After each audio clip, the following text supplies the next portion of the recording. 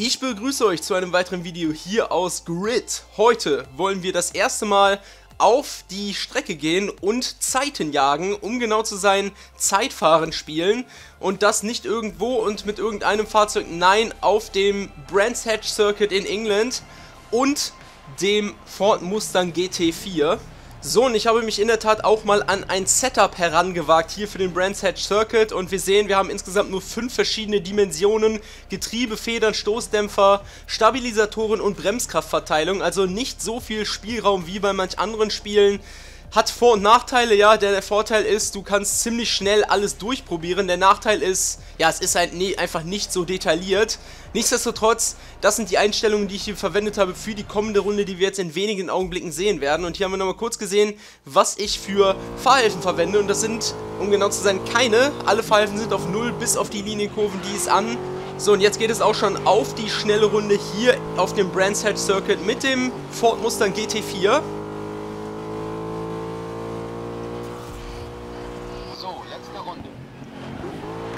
Was ich immer wieder betone ist, wenn man die Bremslinie anhat, dann gibt sie dir möglicherweise den Moment vor, wo du zu bremsen hast, aber bei weitem nicht die Linie, die du vielleicht idealerweise fahren solltest, um schnellstmöglich durch eine Kurve durchzukommen. Ja, das vergessen viele. Jetzt hier zum Beispiel bei der Linkskurve stimmt es mal und bei der zweiten Kurve hat es auch gestimmt, aber die erste Kurve, die fahre ich wirklich komplett anders. Jetzt auch hier die nächste Kurve. Wir sehen, wir sind deutlich weiter innen von der Linie. Lassen uns dann raustragen und geben dann in Mitte der Kurve wieder Gas, ja. Man muss hier auch aufpassen im Grid. Es ist nicht so, dass du ohne Pfeifen direkt aufs Gas gehen kannst. Man muss wirklich schon auch ein bisschen mal damit spielen und gucken, okay, wie instabil ist das Fahrzeug auf der Hinterachse. So, jetzt hier mit fast 200 km/h durch die langgezogene Rechtskurve durch. Und jetzt geht es nochmal runter eh auf 180 km/h. Wir bleiben im sechsten Gang. Ist auf jeden Fall wichtig, immer am Kurvenscheitel die maximale Speed mitzunehmen, ansonsten verliert man mega viel Zeit. Und auch hier, ja, wir haben gesehen, der Bremspunkt hat gepasst. Und jetzt geht es auch schon auf die letzte Kurvenpassage zu.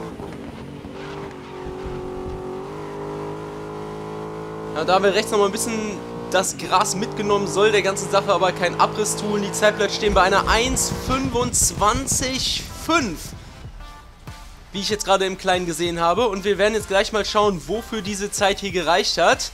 Hier sehen wir es nochmal 1.25.5, die persönlich schnellste Runde.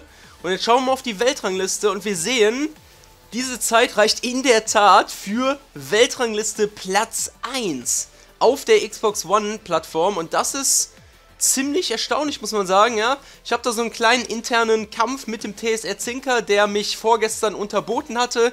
Ich habe seine Zeit jetzt wiederum unterboten um weitere 5 Zehntelsekunden und ja, das reicht jetzt momentan für Platz 1 auf der Weltrangliste. Ich denke, da kann ich mich erstmal ein bisschen drauf ausruhen, bis er mir dann wieder eine Nachricht schreibt und sagt, hey Junge, ich habe dich unterboten, aber das muss natürlich erstmal passieren. Und ja, bis dahin würde ich sagen, war es das erstmal von diesem Video. Ich hoffe natürlich, dass euch das heutige Video gefallen haben sollte. Falls so sein sollte, könnt ihr das durch einen Daumen nach oben zeigen. Falls ihr mehr Videos dieser Art sehen wollt oder generell Grid-Videos sehen wollt, dann könnt ihr diesen Kanal natürlich auch gern abonnieren, falls ihr dies noch nicht getan haben solltet. Und dann würde ich sagen, sehen wir uns beim nächsten Mal. Bis dann, macht's gut. Ich sage ciao.